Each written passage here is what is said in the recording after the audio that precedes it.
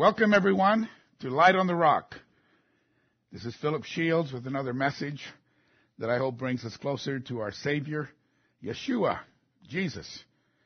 And I hope our messages are helping you grow, making you think, and bringing you closer in a closer walk with our Master.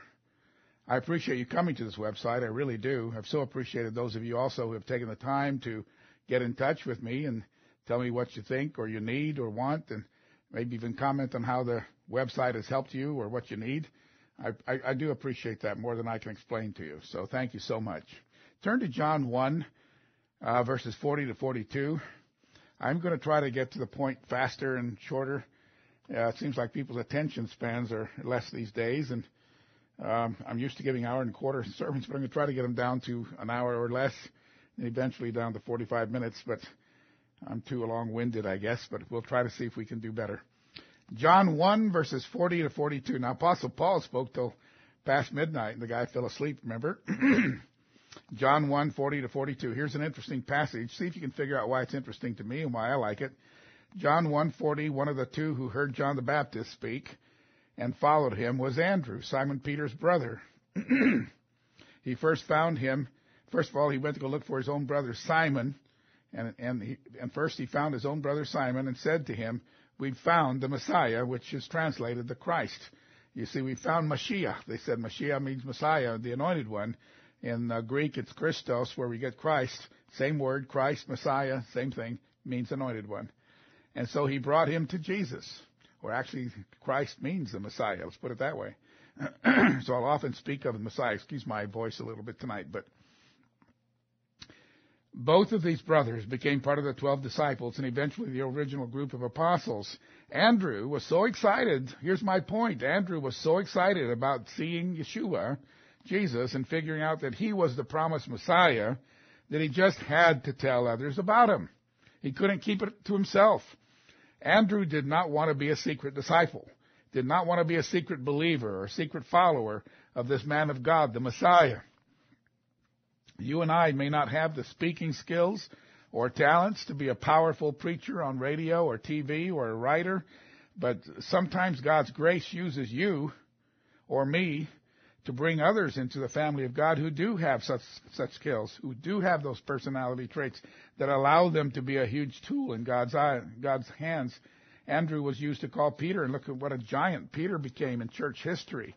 Many, many times greater as far as impact, as far as what he's written, and all of the things that we know about Peter, um, uh, you know, all of that started with God calling Andrew to go say something to Peter and to uh, bring that to his attention, to uh, not hide the fact that he had met the Messiah.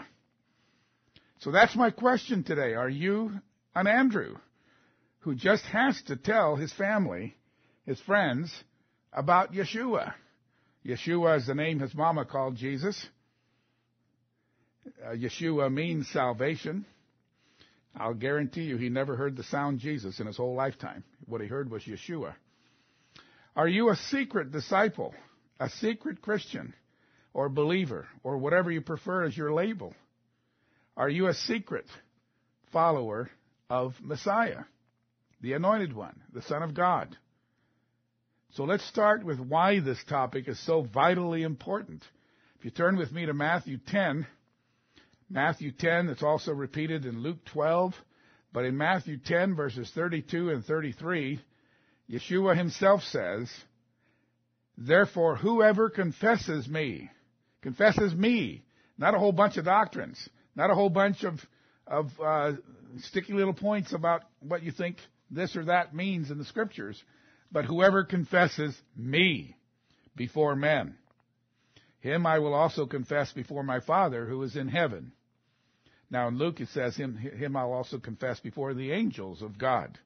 So the angels and the Father, but whoever denies me before men, him I will also deny before my Father who is in heaven. So it sounds very important to me that we learn to confess him and talk about Him openly so that God openly confesses us as well. bow your heads just for a minute. Father in heaven, we come to you and we just ask that your anointing will be on this message, on the hearing. and on the preaching. Father, let each one hearing this hear what you need them to hear. Sometimes that's different for each one. And I pray, Father, that your that you, your thoughts, that Yeshua will be the one speaking, his thoughts, not mine, his words and not mine. And we put this service into your hand, this sermon, and we ask your guidance and blessing. In Yeshua's mighty name. Amen. So anyway, Matthew 10 makes it very clear that Yeshua thinks it's very important that we talk about Him and confess Him. Now we can deny Christ like Peter did, you know, while the three times and the cock crowing and all that. But we can also, and we, we can deny that we know Him. We can deny that we're a Christian. We can deny being a follower of Christ. That's bad enough. Or we can talk about Christ and yet, and yet, according to Titus 1 verse 16, end up denying Him by our actions. And we've all done that, frankly, at one time or another. We can profess to be a Christian, to be believers. Whatever label you like, Sabbath keeping followers of Yeshua, members of the body of Christ, the new creation in Christ, whatever you want to call yourself. But if our actions say otherwise, we are in fact denying Christ. So Titus 1:16 says they profess to know God, but in works they deny him, being abominable, disobedient, and disqualified for every good work. In works we can deny him. And like I've said, I admit to you, I have at times denied him by my actions, by my life. I want that to stop. So can you admit that by your actions you've ever denied Christ? I can. And so, but now we want to turn from our evil ways, start to live the new life in Christ, be the new creation that He's called us to be, and covered by the blood of Christ, all of our sins, all of our past, all of the accusations, all the wrath and the condemnation is now taken by Him. So we can now walk forward worthy walking worthy of the high, high calling we have. And once we start to live it, our words, our speech become even more powerful. But that's in the next sermon. Please be sure to hear the coming sermon that I'm titling, where the title will be The Best Sermon Ever. I'm not saying my best sermon ever. I'm just talking about the best sermon ever. And I hope that intrigues you enough to want to hear it. We can also deny him by not speaking up when it's critical to stand up for things you know Christ believes in and stands for. Turn now to John 3. There were other followers and, and, and those who believed he was the Messiah, but, the, were, but a lot of them kept their beliefs to themselves. They were afraid to come out. And I hope that doesn't describe you. Nicodemus, a Pharisee, started out as a secret follower, for example, but he did end well. In John 3 verses 1 and 2, John 3 verses 1 and 2, excuse me, there was a man of the Pharisees named Nicodemus, a ruler of the Jews. This man came to Jesus by night and said to him, Rabbi, by night, notice, and said to him, Rabbi, we know, we know that you are a teacher come from God, for no one could do these signs that you do unless God was with him. So he wanted to talk, he really wanted to talk to But he was afraid to come out in the daytime lest somebody see him and report it. And uh, he does make good at the end. But do we act like some of, uh, like some of the religious leaders of Jesus' day? Turn to John 12.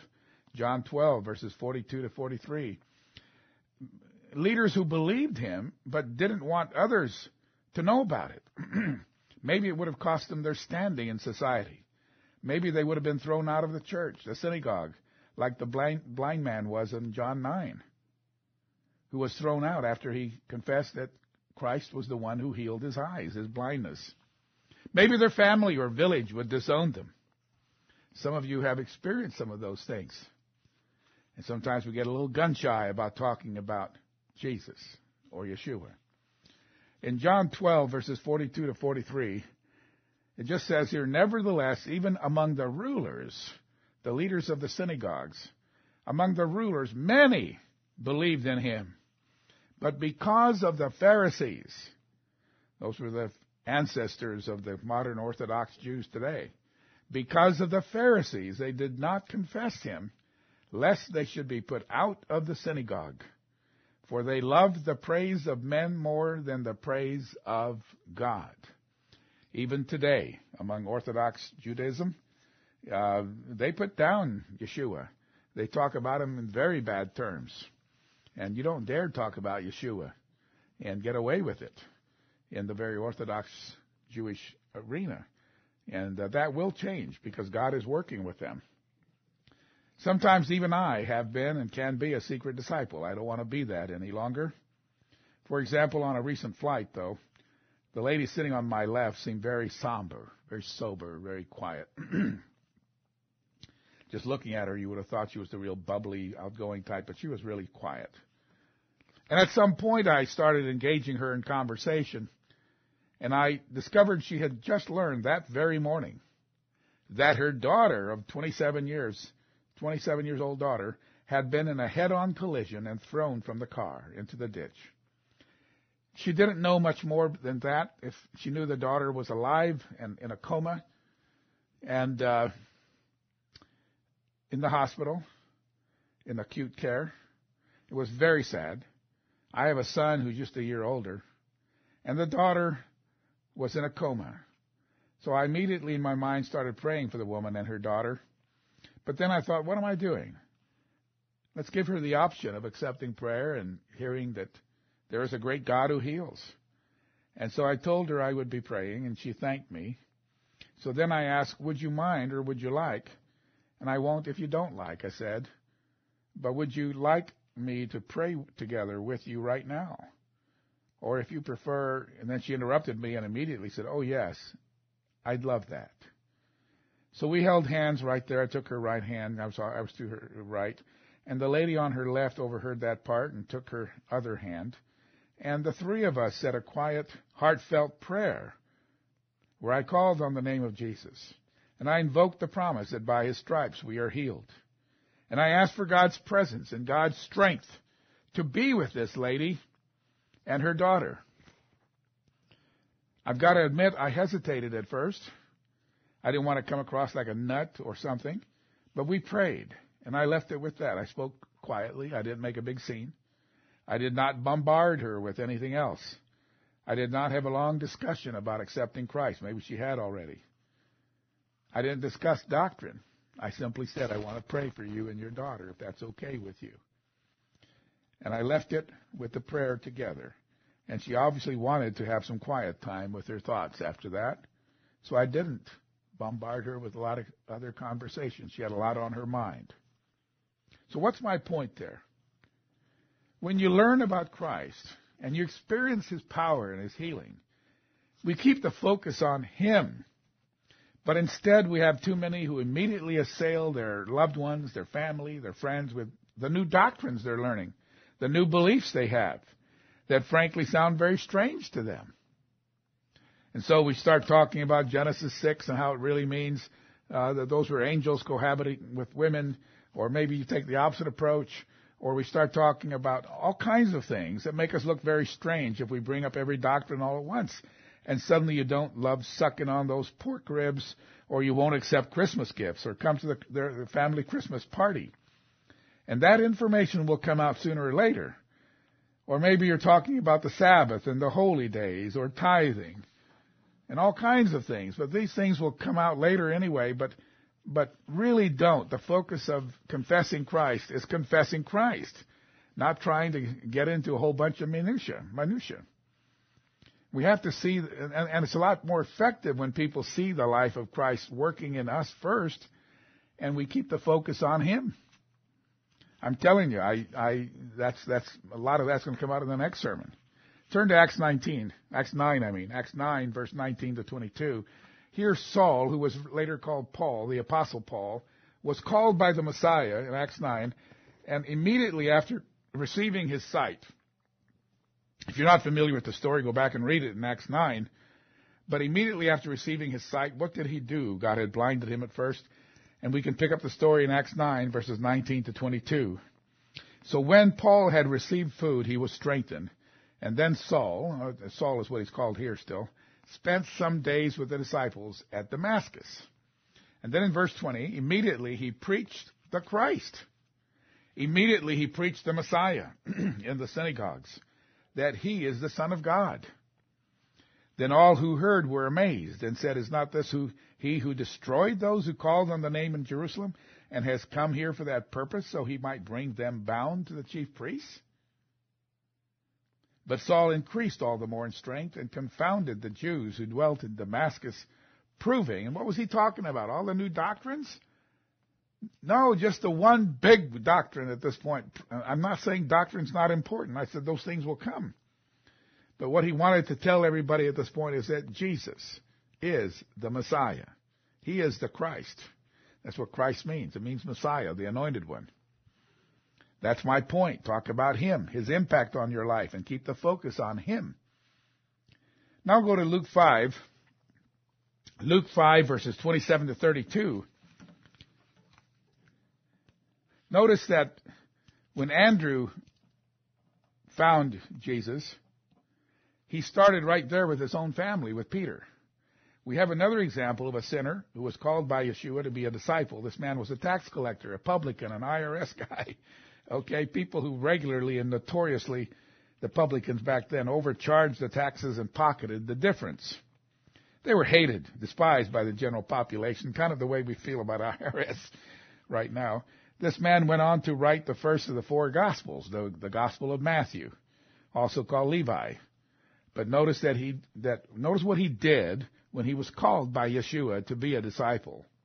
In Luke 5 verses 27 to 32, Luke 5:27 After these things he went out and saw a tax collector, a publican named Levi sitting at the tax office and he said to him follow me. So he left all, rose up and followed him. Then Levi gave him a great feast in his own house. He didn't just start following him and keep it quiet. He was so excited by what he was experiencing and had experienced and the fact that he was being given an opportunity to be a disciple of Christ as you have been, as I have been. You have also been called by Yeshua. God the Father called you through Yeshua to come and follow him.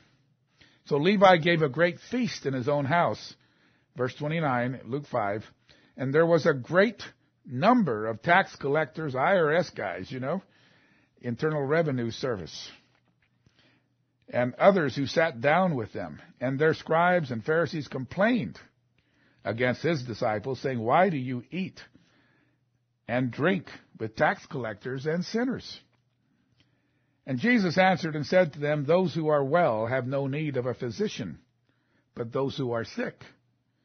I have not come to call the righteous, but sinners to repentance. My point is, um, actually later on in another in the story Matthew gives, he, part of what uh, Yeshua said was go and learn what this means. I desire mercy and not sacrifice, for I did not come to call the righteous but sinners to repentance. He probably said both things. So, my point is he didn't just keep it to himself. Levi, later called Matthew, Matiyahu in the Greek, I mean in the Hebrew, I mean, uh, Levi actually threw a Levi party he had a dinner party with Christ. He wanted all his sinful friends to get to know uh, get to know Yeshua, to get to know Christ. He was, after all, known to be a friend of sinners. Sinners he was calling to repentance. And so that's what Jesus in fact said here. For I did not come to call the righteous, but sinners to repentance. But even as a friend of sinners, of course he was calling them to repentance. But I just find it amazing how comfortable the sinners felt around this God man Yeshua, the most perfect man to ever walk the earth. But my main point is that Matthew didn't keep all this good stuff, all this good news to himself. He hosted a party, invited all his sinful friends to give them the opportunity to meet this wonderful person. Why don't you throw a Levi party or a Matthew dinner and let people come and meet some of the wonderful new friends you have come to know who are new creations in Christ. Not a big evening on doctrine or anything like that, but just to meet some wonderful people who have received the indwelling of the Holy Spirit and are new creations in Christ. Now, be sure you also hear in my follow-up sermon to this one, the best sermon ever, is what I'm titling it, because there's an important aspect to being effective about telling people about the Messiah. It's you, your life, my life. I always have to preach to myself as well, and first, our lives have to reflect the awesome changes that result when someone really comes to know Yeshua. Sometimes the real coming to Jesus happens even many years after you're called and converted and baptized and all that. That's what I feel happened to me. I don't know how deeply my conversion was at the beginning. My actions, my life certainly didn't always reflect it. Not at all. And we grow. Years later, we grow in Christ, or maybe I should say, He grows in us. And it's a lot more effective when we speak to people and they see that we're not like everybody else. We are, or like we used to be. But that's another topic which I do cover in that sermon.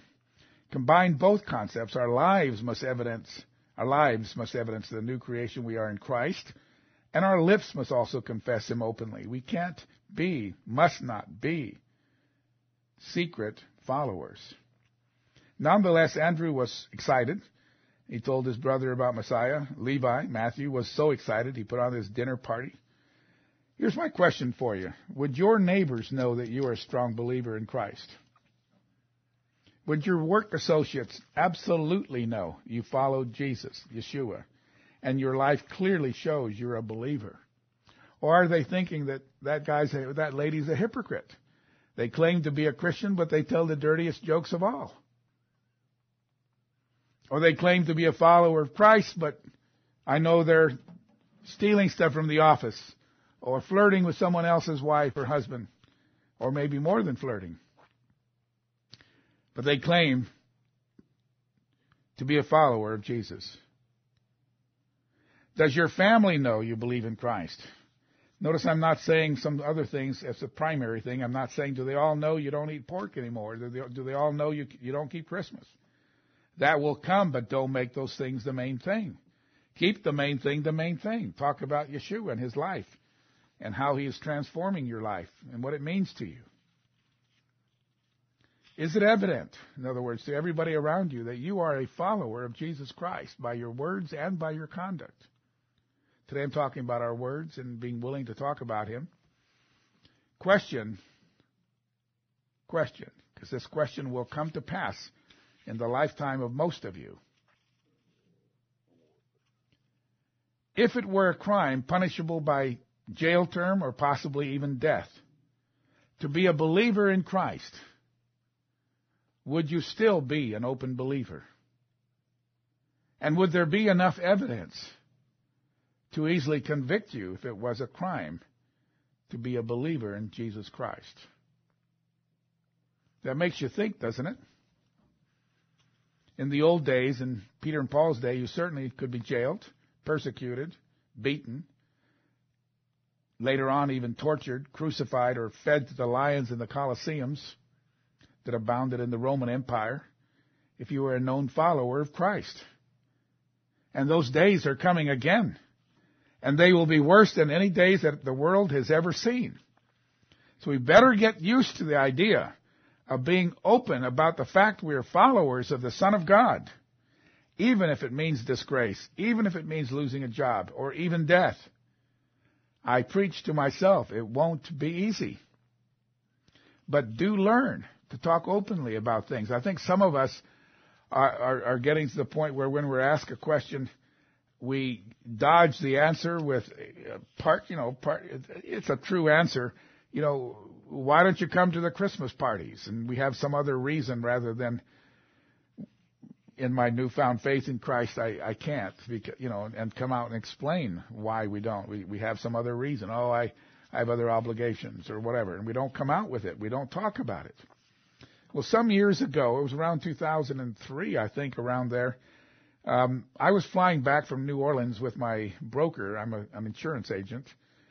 And we had not planned to sit together, but it just happened that way that on the way back, I had my ticket and he had his and we were next to each other. And can you imagine that being coincidence? I, I don't think so. 2003, 2004, somewhere in there. He asked me on the plane, he says, I'm glad we're sitting together. I have a lot to ask you because you never come to our Saturday morning meetings or to our Christmas parties. That's how it started. That's how the conversation started. And I said, well, I have some religious beliefs that go into that. And I said, do you happen to have your Bible with you? And he, he did. He, he believed in Christ. He was a godly man. And uh, he brought out his Bible. I always prefer using other people's Bibles when we're talking Bible. That way they know that it's right in their own Bible. We had about a three or four hour flight back, um, and we prayed. I prayed quickly for guidance. Uh, let's call this man Mike. Mike already believed in Christ. I focused on the fact that we who are followers of Christ also must believe what he taught.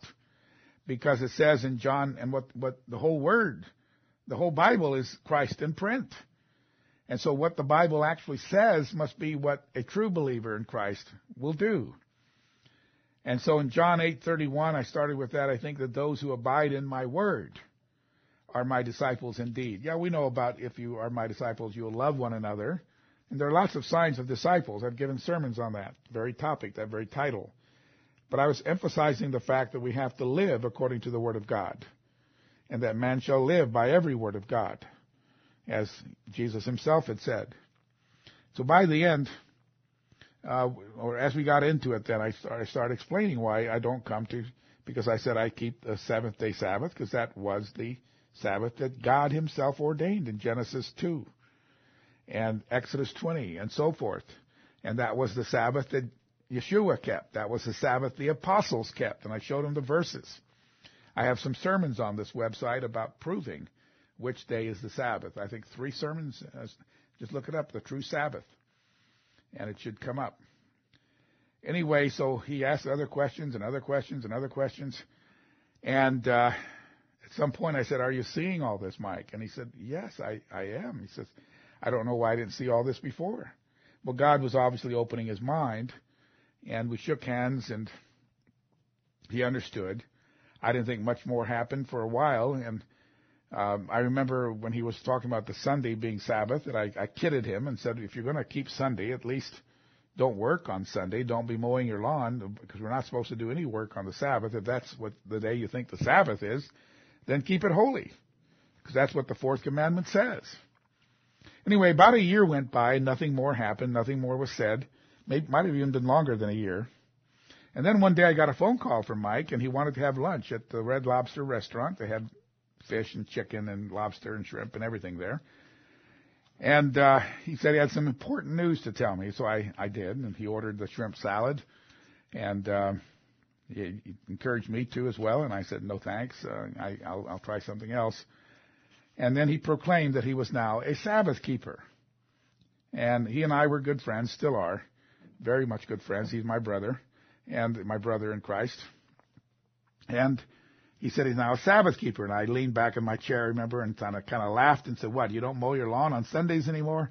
But he was very very serious, and he said, "No, Philip. From Friday sundown to Saturday sundown, I rest. I close the office, and I keep the Sabbath." And I was floored. And soon enough, his wife uh, came along as well with that belief, and his two daughters, and then his friends. And Mike became a believer uh, in Christ who follows every word of God not just accepting Christ himself, but also the, the rest of what comes with it. But what if he had said, why don't you come to the Saturday meetings and don't come to our Christmas parties? Why, why? And I'd come up with some other excuse. Because somehow I didn't want to, I didn't want to think I was a religious nut or something. I could have said other things. Nah, you know, Mike, I work hard and Saturdays I just got to spend time with my wife. And I could have said something that was also true.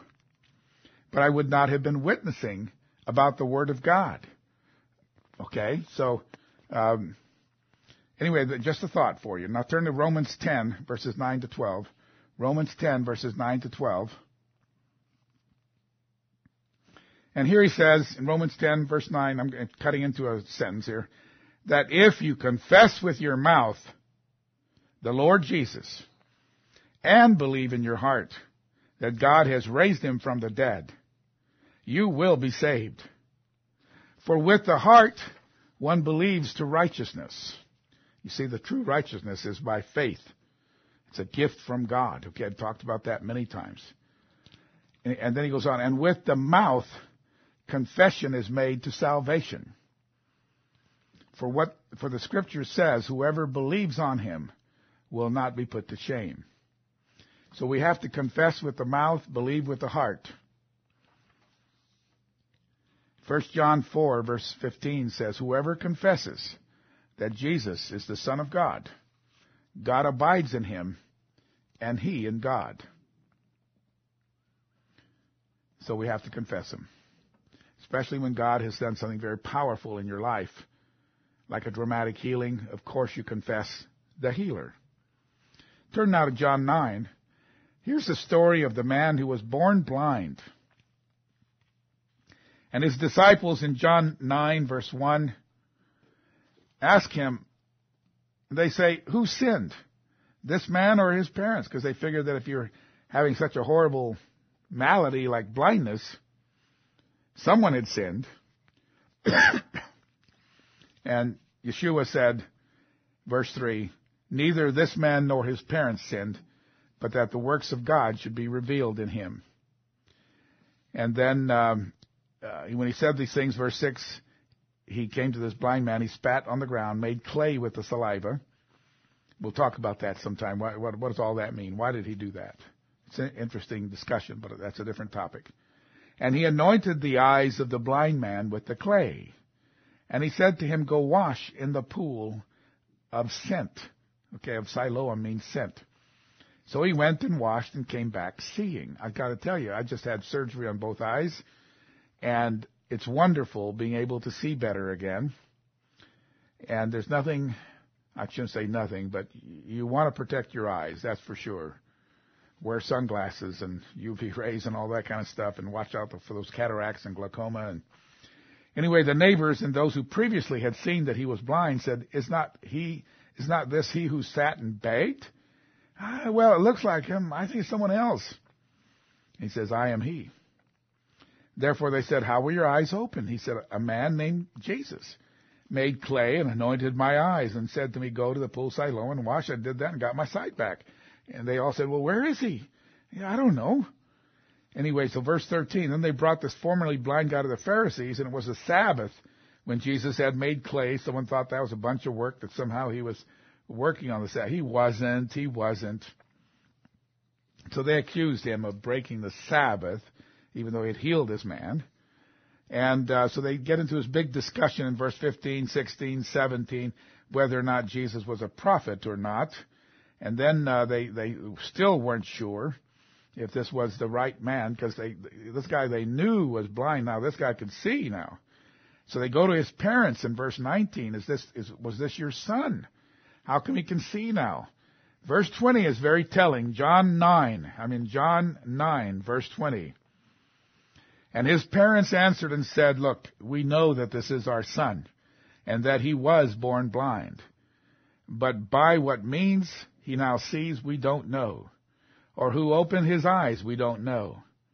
They probably weren't there either. He is of age. Ask him. He will speak for himself. the reason they said all that in verse 22 is because they feared the Jews, the leaders of the Jews, the Pharisees, and so on. That's what it means when it says the Jews. It doesn't mean all Jews. For the Jews had already agreed that if anyone confessed that he was the Christ, that he was the Messiah, he'd be put out of the synagogue. Therefore his parents had said, he's of age. Go ask him. So maybe they had heard already that it was Yeshua. And they were, in a sense, denying him by not glorifying God in this great miracle. So again, they called the man who was blind and they said, I'm in verse 24 now, give God the glory. And he says, look, all I know, verse 25, is I was once blind, but now I see. And spiritually, we all should be saying the same thing. Until I came to Christ, the real Christ, and the real message, All I know is that once I was blind, and now I see. And they said to him again, What did he do to you? How did he open his eyes? And he explained to them again. He says, What? you want to become his disciples? I already told you how. They reviled him in verse 28. You're his disciple. We're Moses' disciple. We know that God spoke to Moses. As far as this fellow, we don't know where he even came from. Verse 30, the man answered and said, That This is a marvelous thing. This guy's got some guts. That you don't know where he comes from, and yet he opened my eyes. Now we know that God doesn't hear sinners, but if anyone's a worshiper of God and does his will, he hears him. Since the world began, this is the blind man speaking, it's been unheard of that anyone opened the eyes of one who was born blind. If this man were not from God, he couldn't do this, this thing. And they said, You were completely born in sins, and are you teaching us? And they cast him out. They probably lifted him bodily and bodily threw him out. Now, when you were thrown out of the synagogue in a village, that was a big deal. You couldn't get a job. You couldn't get married to someone else. You couldn't buy or sell. It was a tough thing. Well, verse 35, Jesus heard that they had cast him out. And when he had found him, when Yeshua had found the blind man, he said, Do you believe in the Son of God? Now, something interesting here. Remember the first thing that Jesus said in the very beginning of John 9. He said, This man was born blind that the works of God would be made manifest. And basically saying, so God would be glorified. God was not being glorified here. They had humiliated this man. It was glorified in the sense that a blind man got to see, yes. But all the others who should have been glorifying God were not. Jesus heard about it. And when he had found him, see, when you've been thrown out of family and loved ones and so on because of your confession of Yeshua, like this man did, Yeshua comes looking for you. Christ will come looking for you. And when he'd found him, he said, Do you believe in the Son of God? Focus is on him. Not even on the eyes. Not even on doctrine. Not even on the synagogue. Not focus is on Him. Do you believe in the Son of God? And I ask you, dear brethren, do you believe in the Son of God? Do you really believe in Him? And he answered and said, Who is he, Lord, that I may believe in him? And Yeshua said to him, You have both seen him, and it is he who speaks to you right now.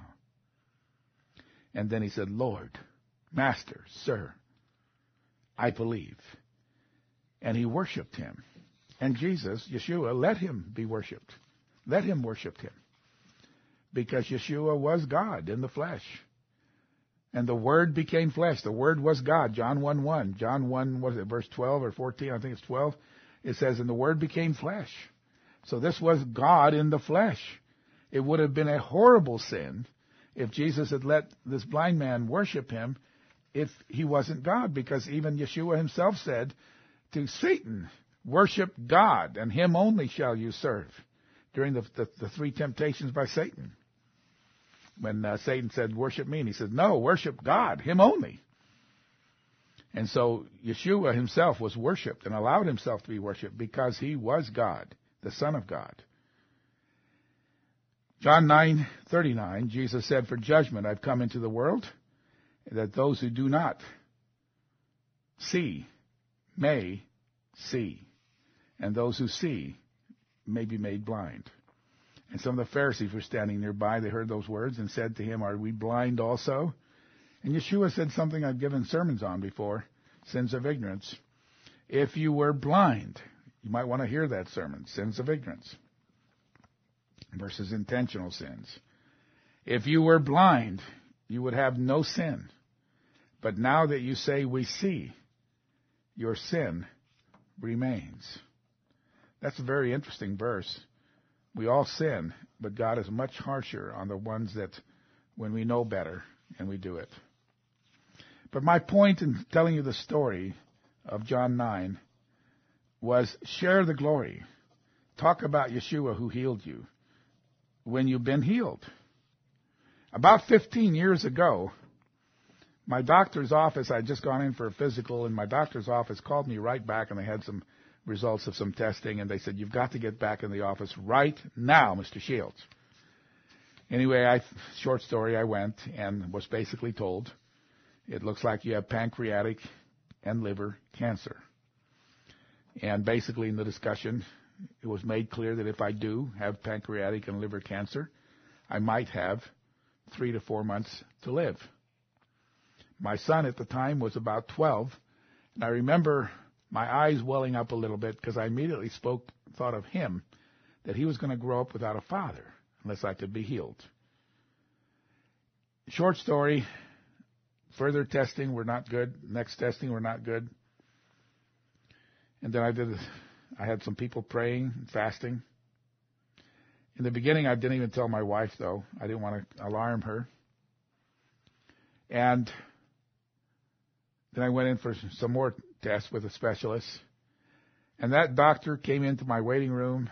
You know how you're sitting there with his backward robe on with a, your backside exposed. and um, anyway, sitting there on the elevated table. And he came rushing in, and in his left hand were a bunch of papers, and in his right hand were two or three sheets of papers. And as he came in, he said, Who have you been seeing? Where have you been going? What have you been doing? I said, whoa, whoa, whoa, what's going on? What's the story here?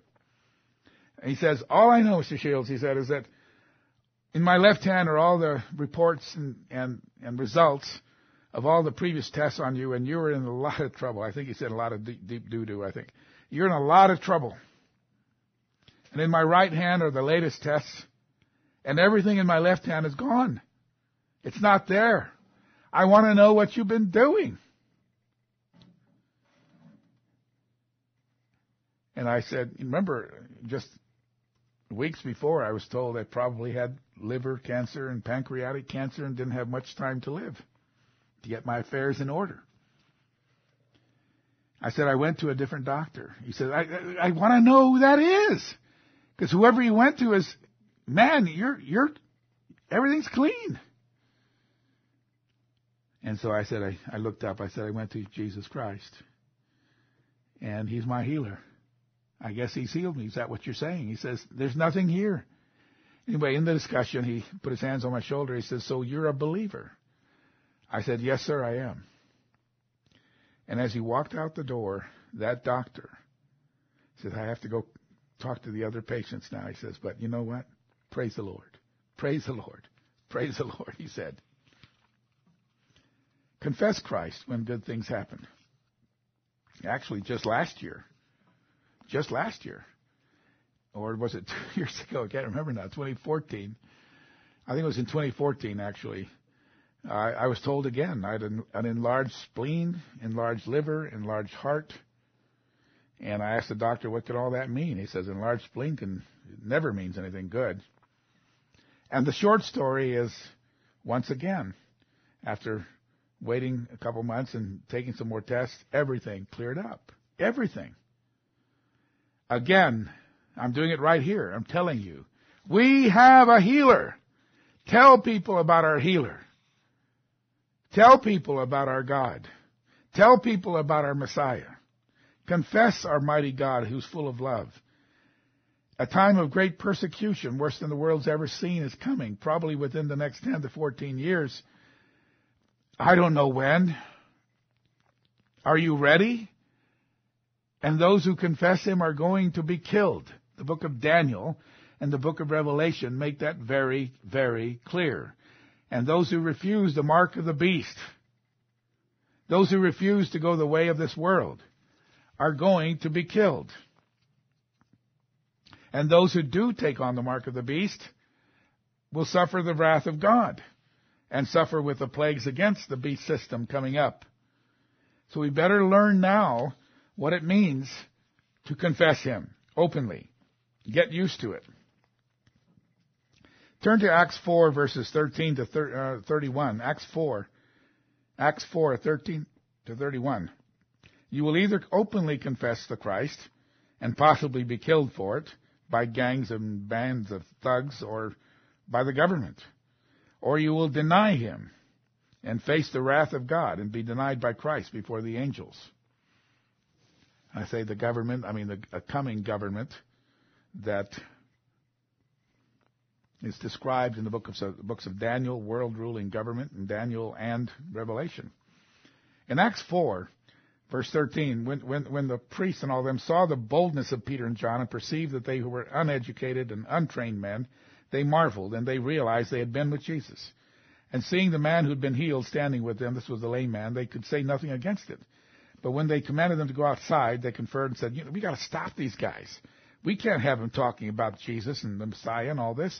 Let's let's threaten them really hard, verse 17, and tell them they must not speak any more about this man in this name. Well, they called him in, and uh, Peter says in verse 9, 19, Peter and John said, whether it's right in the sight of God to listen to you more than God, you judge. But we cannot but speak the things which we've seen and heard. We cannot but speak. Verse 20. The things which we have seen and heard. We can't keep it in. So when they'd further threatened Peter and John, they let them go. Verse 23, being let go, they came back to their own companions, and when they all heard about it, they prayed about it. And they say, Lord, you are God. You made heaven and earth and all that's in them, who by the mouth of your servant David have said, Why do the nations rage? Why do the people plot vain things? The kings of the earth took their stand, and the rulers have gathered together against the Lord and against his Christ. I think that's from uh, Psalm 2, I think. Sounds familiar. Psalm 2. If I'm wrong, then I think it's Psalm 2. For truly against your holy servant Jesus, whom you anointed, okay, that's Messiah, both Herod and Pontius Pilate with the Gentiles and the people of Israel were gathered together to do whatever your hand and your purpose determined before to be done. So they're, they're admitting, okay, lots of people killed him, but it was your will, Father. now, Lord, look on their threats and grant to your servants that that with all boldness, and this is the prayer you and I are going to have to learn to pray, especially in the years ahead when it starts. When everything hits the fan, we're going to have to learn to pray this. With all boldness, that they may speak your word by stretching out your hand to heal, and that signs and wonders may be done through the name of your holy servant Jesus or Yeshua. And when they prayed, the place where they were assembled together was shaken. And they were all filled with the Holy Spirit. And they spoke the word of God with boldness. They spoke with boldness. And they prayed that give us boldness that we may speak your word and give us the signs that follow. And then in Acts 8, in Acts 8, it starts to hit the regular brethren, not just the leaders. At that time, a great persecution. This is right after, right after um, Stephen had been martyred, stoned. A great persecution against the church, which was at Jerusalem, arose, and they were all scattered throughout the regions of Judea and Samaria, except the apostles. They were all scattered, and they took uh, Stephen, buried him, and as for Saul, the one who became Paul, he made havoc of the church, entering every house, dragging off men and women, committing them to prison. Therefore, those who were scattered shut up, went to hide in caves, decided to become an Orthodox Jew again. No, that's not what it says. Therefore, those who were scattered, remember they were being committed and dragged off to prison, went everywhere, I mean, Acts 8 verse 4, preaching the word. The regular brethren spoke up. And we read the, the follow up to this in Acts 11 verses 19 to 21. Now those who were scattered after the persecution that arose after over Stephen traveled as far as Phoenicia, Cyprus, Antioch, preaching the word. And then others began to talk to the Hellenists, preaching the Lord Jesus. And the hand of the Lord was with them, and a great number believed and turned to the Lord. Preaching the Lord Jesus. My brothers and sisters, in this coming very end time, though some will very likely be protected, from the terrible time of trouble. Not every believer will be. Otherwise, from where come all those verses that Daniel and the book of Revelation describe of believers being martyred, beheaded, and persecuted. I'll give a sermon soon on what's coming, okay? So be watching for it. Tell people about this website if it's a blessing to you. I suspect anyway those who will not be taken to a place of safety. Others believe in a rapture and all of that. We'll talk about that sometime. But whatever that place of safety is, wherever it is, if there is one, and I think there is one. But the ones who aren't taken, could they be the ones who at this time are more or less secret followers? Does God have to see if you're willing to take up the cross, which means death, and follow Him now? And therefore you don't need to go through this time of terrible trial and testing because He already knows what you're going to do and say and act. If He doesn't know you very well, and you don't know Him very well, then He has to test us further. Now, having said that, I'm not saying that only those who are imperfect somehow are going to be the ones staying around for the Great Tribulation. Remember, remember the Son of God Himself was crucified. Many, all the righteous apostles, possibly without John, had horrible deaths. Many, many of the righteous are killed. So don't, I'm not saying that if you're killed, it's because you're not righteous or you're not close to God. I'm not saying that. I'm just saying it is possible in my thinking that those who don't go to a place of safety don't go because God needs to see a little more uh, courage out of them to take up their cross and follow Him. We began the sermon talking about Nicodemus and Andrew and Peter and all that. But if nothing else, end strongly. Even if you find it hard now to openly speak about your Savior, Paul attacked the church before he had come to his Jesus moment in Acts 9. But he immediately, upon his calling, as I read earlier, started preaching Christ boldly, even though he was often beaten, chased out of town, imprisoned, stoned, left for dead. Boldly, openly, talked about the one thing Yeshua, the Messiah, Jesus the Christ. In Ephesians 6, verses 17 to 20, take the helmet of salvation and the sword of the Spirit, which is the Word of God, praying always with all prayer and supplication in the Spirit, being watchful to this end, with all perseverance and supplication for all the saints, and for me, that utterance, talking about being willing to speak up, that utterance may be given to me, that I may open my mouth boldly to make known the mystery of the gospel, for which I'm an ambassador in chains, that in it I may speak boldly as I ought to speak. Frankly, that should be the prayer for all of us, that when the opportunity comes to speak up, to identify what we believe and whom we believe it in, that we speak about the blood of Yeshua and how that has cleansed us of all sin, removed all the wrath and all the condemnation, especially as we come to Passover. We have to have this openness to talk about Yeshua, especially at Passover. Nicodemus got bolder. He came at night the first time we read about him.